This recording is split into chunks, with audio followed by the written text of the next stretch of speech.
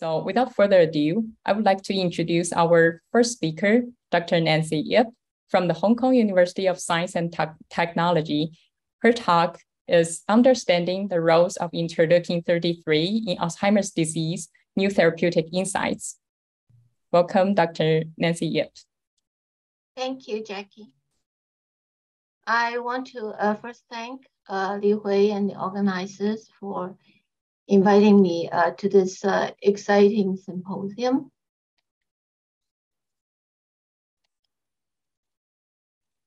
So you can see the slides, right?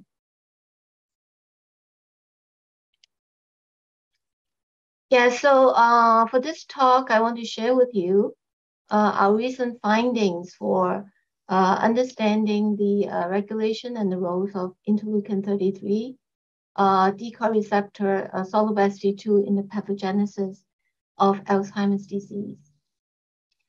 So uh, Alzheimer's disease is a complex disease. Uh, as A beta uh, accumulates, microglia activated to phagocytose and clear A beta. As A beta continues to accumulate, uh, it can result in the dysfunction of microglia uh, chronic uh, neuroinflammation, uh, leading to deficits in synaptic remodeling and neurodegenerations. Now, there are different cell types that contribute to the pathogenesis of Alzheimer's disease, including neurons, uh, microglia, astrocytes, endothelial cells. So it is important for us to um, identify molecular and cellular mechanisms that can contribute to uh, the AD pathogenesis. So I want to uh, discuss our work on uh, a cytokine called interleukin 33, IL-33.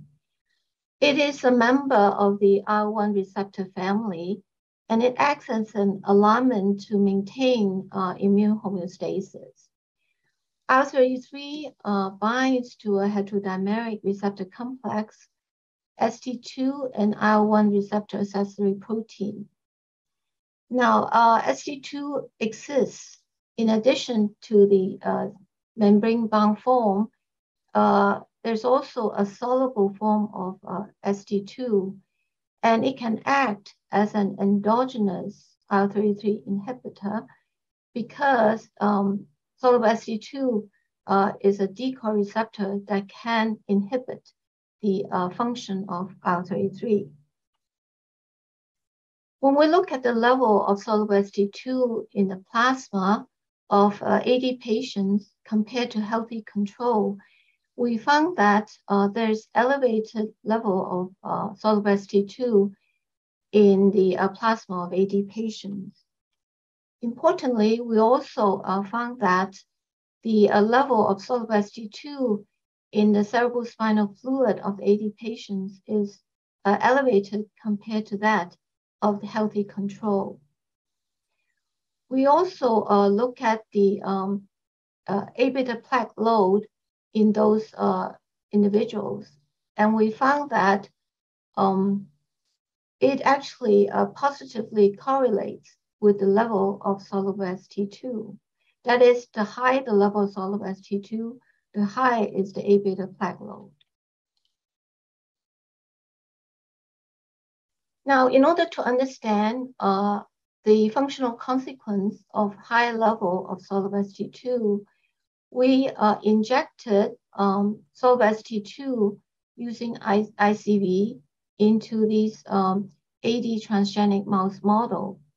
And we found that the injection uh, of soluble ST2 to those mice actually resulted in um, uh, increase in the A beta plaque load, as shown here.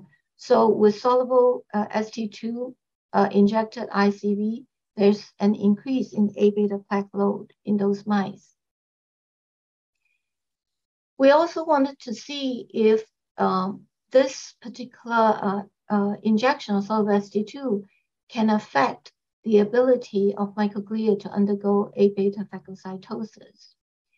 So what I show here is that um, we first uh, label A beta using uh, methoxy X04, and then we look at um, the microglia with uh, A beta uptake, you can see in this quantitation that uh, soluble ST2 injection actually uh, can uh, reduce the number of microglia with uh, A beta uptake. So elevated level of soluble ST2 can play a role in AD pathogenesis. Can we manipulate IL-33 ST2 signaling uh, to regulate A beta pathology? And if so, what is the underlying uh, mechanisms?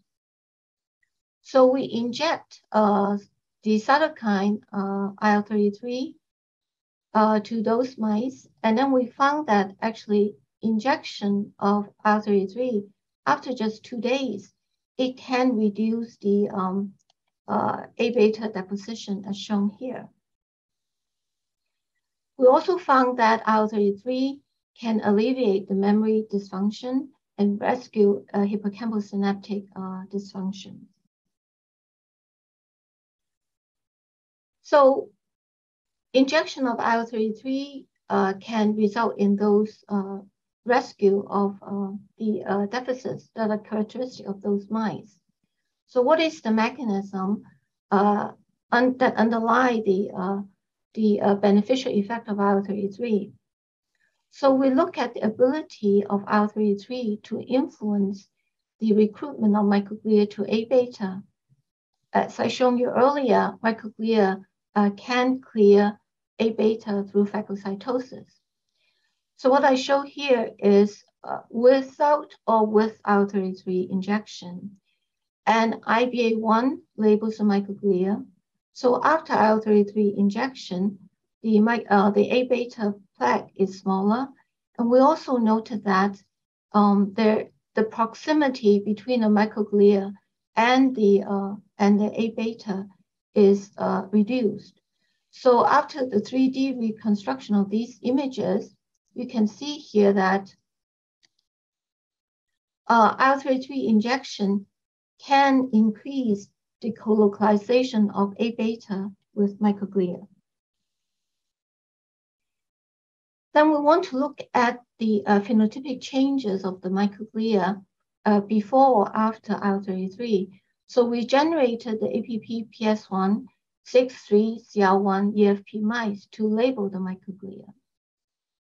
And then we use two photon in vivo imaging to visualize the phenotypic changes of the microglia.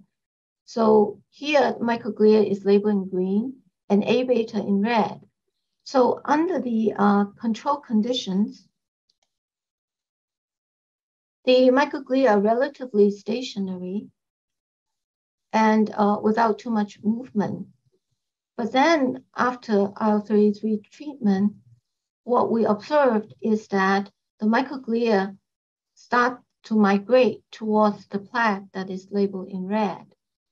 So we monitor the migration of the microglia towards the plaque. And here is the, um, the images, the, here are the images that we obtain. So uh, after 12 hours, you can see that IL-33 can induce the uh, migration of the microglia towards the plaque and we quantitate the, um, the percentage of the microglia with higher mobility, you can see in this, um, in this diagram that uh, there is a significant increase uh, in the percentage of microglia with higher mobility after IL-33 uh, injection.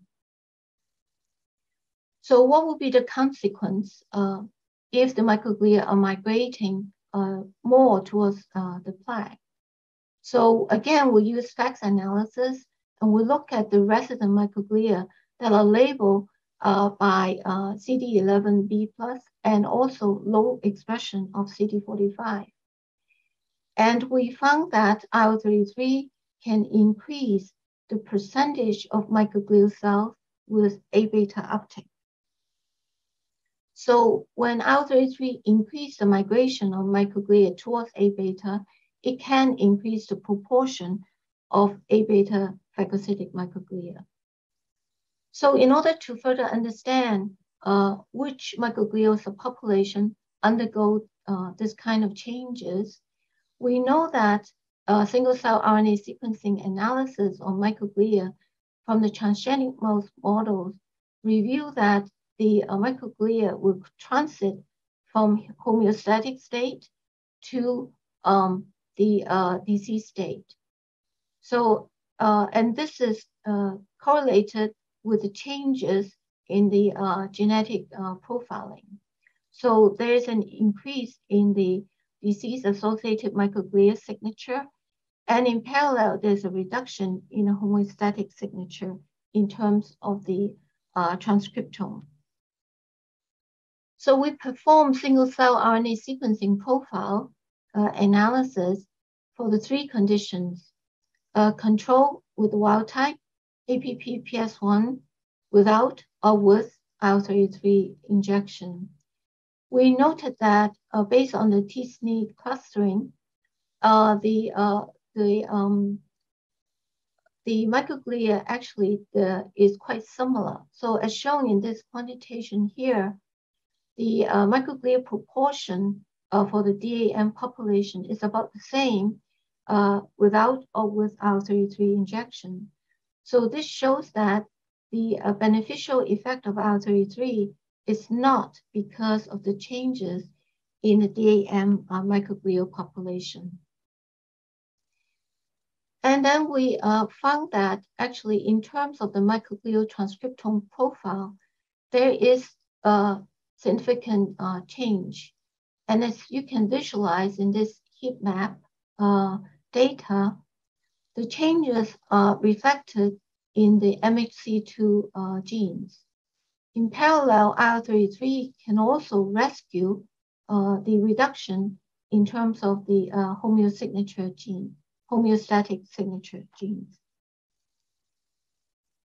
So would this population of IL-33 uh, responsive microglia uh, have uh, increased uh, phagocytic ability? And indeed, that was what we uh, observed.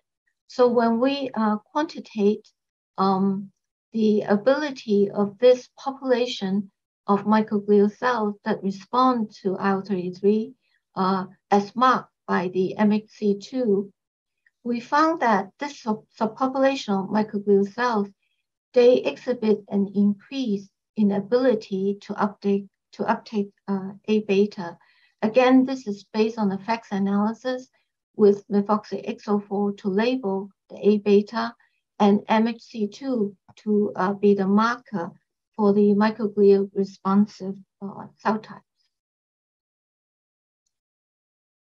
And then we uh, perform a, a temporal uh, analysis to look at the phenotypic changes of the microglia following uh, IL-33 treatment in the APPPS1 mice at three time point. So at three hours, the microglia start to migrate towards A beta plaque, as uh, uh, I showed you earlier based on the live imaging. And at eight hours again, uh, they continue to migrate. At 24 hours, they phagocytose uh, A beta based on the uh, flow uh, cytometry analysis. So we perform bulk RNA-seq and single-cell RNA-seq. And the data uh, shows that IL-33 stimulates a stepwise transcriptome reprogramming in the microglia. Pathway analysis uh, show that um, at three hours, there's increase in the uh, uh, stress response, uh, including cell activation, response to stress, etc. Now, some of these genes remain elevated, and these include the, the genes associated uh, with chemotaxis. So uh, IL-33, uh, based on our analysis, it triggers a stepwise transcriptome reprogramming in microglia in AD. So um, the data shows that uh, it undergoes a stepwise transcriptomic uh, reprogramming. And these uh, correlates with the induction of the chemotactic uh, uh subpopulation of microglia, and, uh, and then followed by the uh, state transition So IL-33 triggers this uh, transcriptome reprogramming that is associated with the phenotypic changes in terms of the microglial state transition.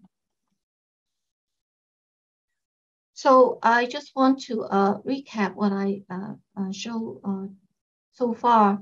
So with IL-33, there is the state transition from homeostatic state to chemotactic state, and then ultimately phagocytic state, which result in A beta clearance. Is the induction of the chemotactic state necessary for the subsequent phagocytic state? So we first uh, perform bulk RNA sequencing analysis, analysis uh, comparing the, uh, the wild type and, and those um, with ST2 knockout. And we uh, perform this by uh, crossbreeding the APP-PS1 mice with the uh, ST2 knockout mice. We identify 529 differentially expressed genes, and we found that out of these, 72 are actually uh, signature genes of chemotactic microglia. And so with the uh, knockdown or knockout of ST2, uh, these genes are um, totally uh, abolished. So as shown here, when we look at whether uh, ST2 genetic ablation can affect the proportion of chemotactic microglia that is induced by IL-33, you can see clearly that while this um, is increased with IL-33 treatment in wild type, in the ST2 uh, knockout mice, it is uh, totally uh, abolished. Furthermore, what we found is that the uh, genetic ablation of ST2 can also abolish the induction of phagocytic microglia uh, uh, by uh, IL-33 as shown in this uh, quantitation. So once again, uh, in the APP-PS1 mice, IL-33 can induce the, um, the proportion of MHC2 microglia. And then if you knock out ST2, this uh, phagocytic microglia that is induced by IL-33 is totally abolished. Uh, I don't have data to, uh, to show, I don't have time to show you this data, but we also identify that the uh, transcription factor PU.1 is responsible for this ability of uh, IL-33 to phagocytose and induce uh, A beta clearance.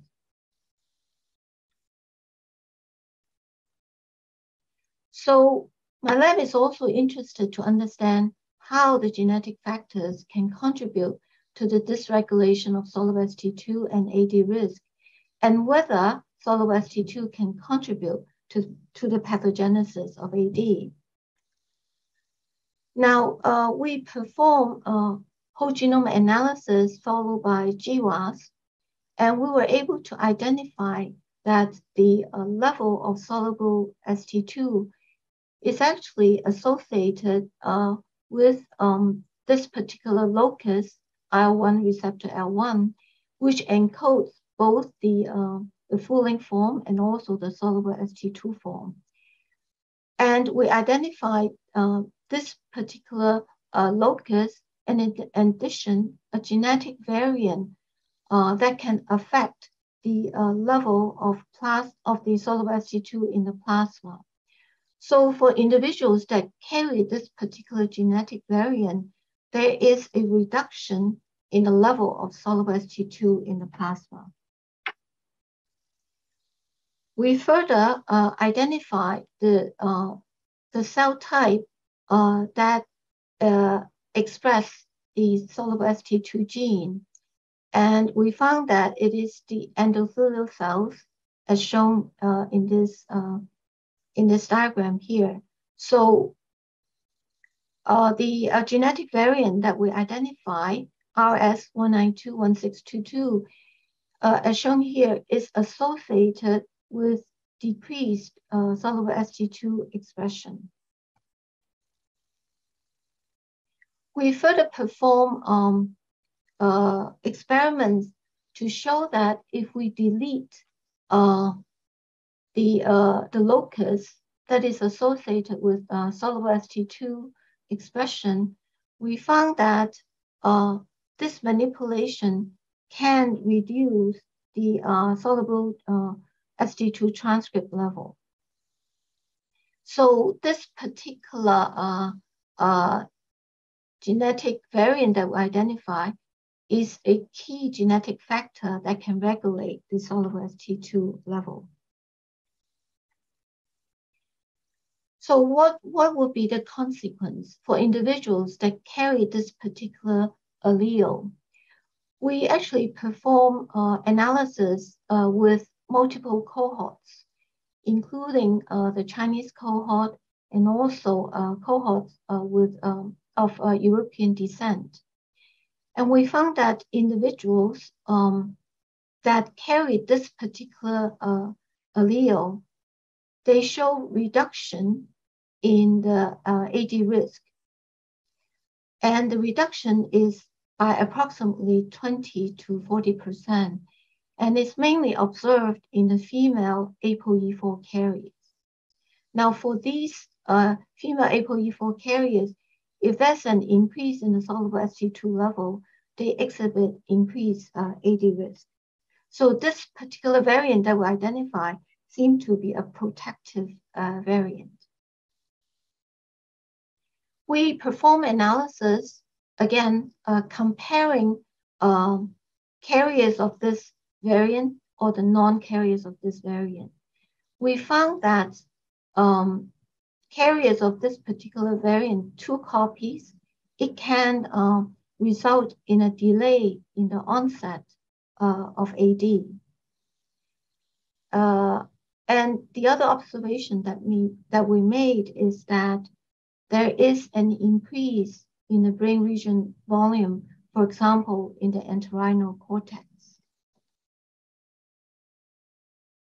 We perform another, another analysis uh, with an Australian cohort, and we found that for the individuals that carried that carry two copies of this particular variant, there is an increase uh, in uh, in the um, gray matter volume. That is, it protects against the atrophy of gray matter in the brains of these individuals when compared to those individuals that do not uh, carry the particular variant. So this is based on, on the longitudinal studies over a period of 7.5 years. So we want to understand the functional roles of this particular variant in the pathogenesis of AD. So we examined the effect on the molecular and cellular phenotypes of individual cell types. So what you can uh, observe in this particular uh, data set is that for individuals that carry, that are carriers of this particular variant, we see an increase in the uh, activation genes of the microglia. And concomitantly, there's a reduction in the homeostatic genes. So this particular variant is associated with increased microglial activation. Now, the, uh, in those individuals that carry this variant, we also observe that there is an increase uh, microglia plaque activation, as you can observe in this, uh, in this photograph. So again, comparing those that carry uh, one copy of this uh, genetic variant versus the non-carrier, there's a clear increase in the uh, co-localization of microglia with the A-beta plaque. It is also associated with a reduction in the A-beta deposition as shown in the quantitation here. So again, this is comparing non-carrier with uh, carriers, one copy or two copies. And we were able to observe significant reduction in the A-beta plaque load uh, in the carriers. So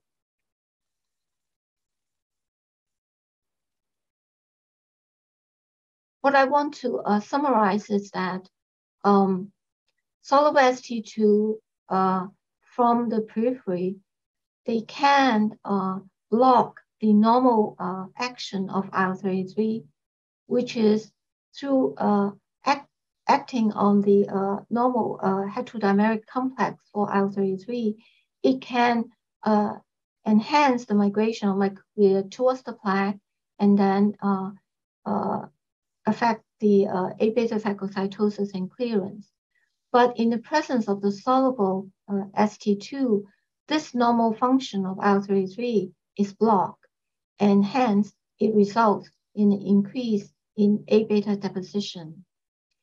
So we identify this particular genetic variant uh, that can lower the expression of soluble ST2 and it can protect against AD risk. So this reveals an, a new therapeutic uh, potential, which is if we can find a way to somehow suppress soluble ST2, then the funding agencies that support my work, both from Hong Kong and also from uh, mainland China. And I want to thank you for your attention. Thank you. Thank you, Dr. Ip, for a wonderful talk. It's really great, like how you connected the phenotypes with the genetics and also with the different uh, microglia transcriptomic states. It's it's really wonderful. Uh, I see Tracy already has a question, so uh, we'll give the we'll give Tracy so the. Much. That was that was a that was beautiful a beautiful talk, and I, I I noticed you noticed I noticed that you so you showed beautifully this interaction um, of your new SNP with ApoE4 genotype, but given the molecular interactions with IL-33 and with PU.1, I was wondering if you looked for genetic associations between variants at those loci um, with this risk variant. Uh, we have not done that, and that, that is something that we would love to do uh, to have a better understanding of the uh, underlying mechanism. I think identifying this particular genetic variant actually uh, give us a lot of insight. Um, you know how this variant can actually uh, impact, for example, the, the outcome of ApoE4. And we believe that, uh, you know, if we can find a way to, to understand how these pathways converge, we might have a better handle uh, on coming up with, uh, you know, new therapeutic approach that, that might be applicable, uh, particularly for those individuals, you know, the female ApoE4 carriers, you know, maybe you know, it is necessary to to uh, to do patient stratification and maybe you know uh, certain therapeutic approach uh, will be more beneficial for for certain uh, you know uh, patient uh, population. And, and and that's why I think doing this kind of genetic analysis is extremely revealing because we'll be able to understand uh, you know, how to go about designing the therapeutic approach and, and not just, you know, go with a very uh, unified approach, I would say. Yeah. That's great. That's exactly what I was thinking. Yeah, that's beautiful. Thank you. Uh, and Dr. Ip, um, we'll do the second question from the audience, which is also a question I'm super interested in. Uh, it's from Mariana Garcia Coro. Can you elaborate on the gender differences that you found regarding the effects of uh, soluble ST2 on AD risk? Yeah, so uh, we actually um, pond over for you know for a while because we um, we were able to really uh, uh, identify this effect if we you know stratify the uh, the patient population, and we uh, found that it is most significant for the female uh, ApoE4 carrier. So the the the gender issue, I think part of it is because um, the regulation of IL-33 uh, ST2 signaling, uh, uh, the regulation is quite different uh, between uh, genders. So it might have an impact uh, at that particular level. So sex hormones can regulate IL-33 signaling pathway. So we think that, that that might be, you know, one approach that we can take in order to understand why the effect uh, is particularly significant in the female uh, group. Another um, another point that, that we are thinking is that the increase in soluble ST2 is actually higher for females during AD progression. So, uh, so that might also have have uh, you know another uh, impact. Uh, so we're, we're looking at both and, and see uh, you know which ones or maybe both of them actually account uh, for this gender difference. Yeah. It's a very good question. We we are you know very interested to to understand more. Thank you. And we have another question from one of our speakers, uh, Gilbert Di Paolo. uh, thank you. Uh, great talk, Nancy. Um, great to see some uh, genetic signal in this um, this pathway. But I had a more uh, general question about uh, IL-1 cytokines.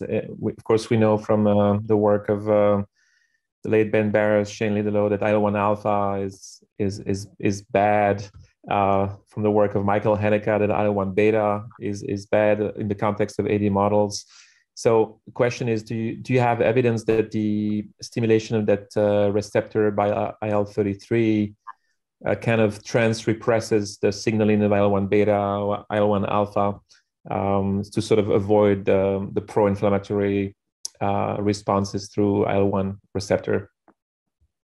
Yeah, we actually have not looked at that in detail, you know, whether it can um, uh, have that effect. But based on all our studies uh, using the, the mouse models, uh, we actually see uh, suppression of pro-inflammatory uh, uh, pathway. So, so it, it, it seems that IL-33 is quite special in that sense, you know, unlike the, uh, the other related cytokines. So, but we would love to look at the uh, the mechanistic level in more detail and, and see if we can dissect it out more. But so far, it seems to be uh, beneficial effect if it is delivered, you know, uh, to the CNS. And in the periphery, is a different story, right? In the periphery, it may not be, it may not be so uh, desirable. So um, yeah, so th- that's something that we definitely uh, want to study more. So and and that's also why uh, we we are keen to to try and manipulate the pathway uh, that is mediated by IL-33 and not just using IL-33 because yeah. because of potential uh, you know side effects. So and and I do believe that if we can somehow manipulate the level of soluble ST2, that might be a, a better approach uh, compared to the cytokine. Okay. Thank you. Great question. Um, and I think we, we still have time for one or two more questions. There's another question from the audience from Elaine O'Loughlin. Uh, so the question is, is this SNP associated with other inflammatory disorders, for example, asthma or lung disorders? Um, so there is IL-33 antibody for asthma from Sanofi, for example. Um, so I wonder, uh, Dr. Yip, if you could comment on that. we have not actually looked at the association of this particular variant uh, related to other disorders. So we, we did the association study uh, mainly uh, for the uh, AD patients. But uh, of course, you know, given the role of um, IL-33 signaling in other conditions, I think that kind of study, you know, should be should be performed. Yeah. So so far analysis is is really based uh, on the uh, on the AD cohort. Yeah. Thank you. Uh, and I think we could still get one last question. Uh, our speaker, uh, Dr. Shane Liddelow, uh, also has a question. Yeah, thanks for that, Jackie. And thank you, Nancy. This is really, really exciting. Uh, I, I, love it when you're sort of looking at uh, mutations and looking at what their functional output is. And one of the things that I'm always intrigued by is do you have you tried to track this developmentally? And I'm sorry if I missed this throughout your presentation, but if you think that the the change in function, uh, and like Gilbert brought up the sort of uh, difference between different interleukins, do you think that that could be causing different effects early in development, in the early progression of disease or in later stages of disease? Yeah, I think again a great question. Uh, for our studies, we mainly focus uh, on the adult stage, and we did not did not look at uh, you know um, the effect during development. But I think it would be a wonderful area to, to look into. Yeah, so all our studies are, are really uh, using adult uh, mouse models. Yeah, that's that's. I, I, I understand why. Yeah. I, am yeah. just always taken if we're all collectively, and we think about this a lot. If we're missing some interesting biology that is setting yeah. the brain up for dysfunction later, um, yeah. I don't know how we're going to go back and do all of our studies again developmentally, but it's something we think about a lot. So this is a very cool model. I like it a lot. Thank you. Yeah, yeah. I, I hope some labs will do it. Definitely.